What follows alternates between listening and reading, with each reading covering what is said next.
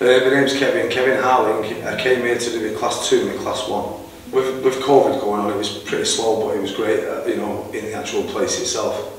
You know, there was always uh, help on hand and stuff like that. It's got me through some obstacles, to be honest. Yeah, due to a breakdown and I had a, you know, a lot going on back at home, so I just wanted to prove to myself I could do it and when I came here I got support. I mean, for me class 2, um, I had to do a lot online, which I struggle with anyway because I'm not good at computers and I got um, one of the notebook things instead of a laptop, so I struggled on that. So it was being a pain every time ringing up the, you know, the uh, tutors and stuff, but they helped me through it. And I was like the, the naughty kid in the classroom because I just couldn't do anything, you know what I mean, with this notebook.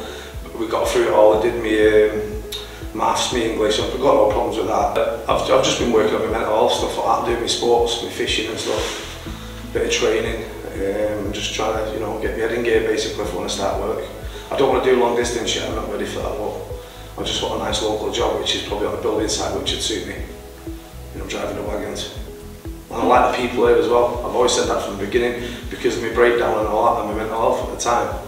It helped me out, do you know what I mean, in a big way. They literally, come on, you know, treat me like a soldier basically. Come on, let's get going, you know what I mean?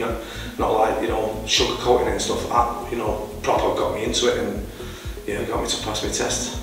It's different here. I won't mind getting a job here myself, to be honest. Because everyone's, you know, they all help you out, they all help each other out. It seems like a big family here, so